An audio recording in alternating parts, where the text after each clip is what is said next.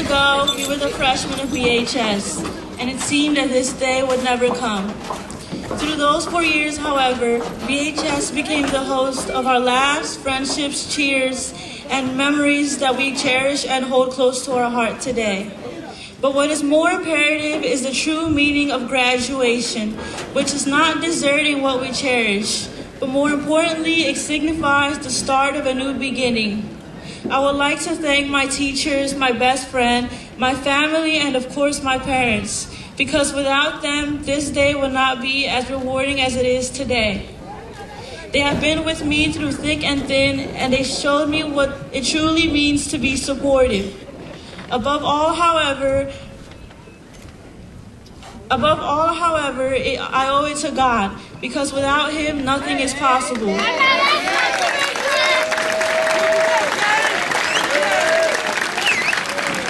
Is indeed our number one supporter.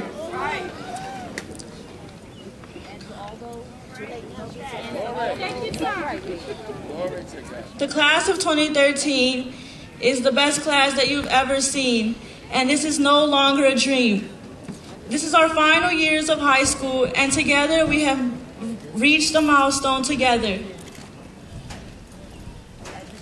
As we graduate today, the faces that we see in school will no longer be familiar as we embark on a journey of our own.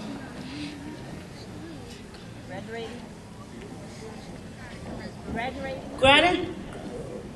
Graduating today is the most rewarding thing that I will ever experience in high school.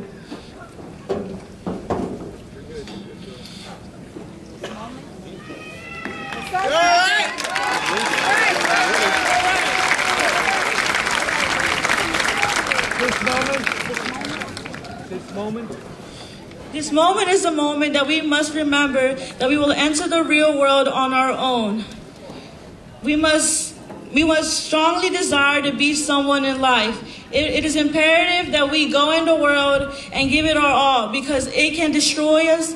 And if we don't give it our all, we will go nowhere in life. as we endeavor As we endeavor for the best, it is paramount that we walk tall with our heads held up high.